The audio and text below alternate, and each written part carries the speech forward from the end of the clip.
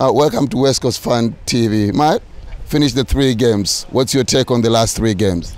I think we're looking pretty good, and I think top four is a pretty realistic goal. What makes you think we would, what will make us get to the top four, mate? I think we've got all bases covered in defence, in midfield, and in the forward line. I think LeCras and Kennedy deep in forward line is looking pretty good as we saw tonight, but I think we're just all round across the board. So I think top four is a definite possibility. Okay, you've been watching maybe footy. I'm assuming you've been watching footy from last year. Which kind of players would you like to see them improve for us to get there? Well, obviously, um, Redden and Lewis Jetta are big ones, but I think I think Mark LeCras, he's a real good one.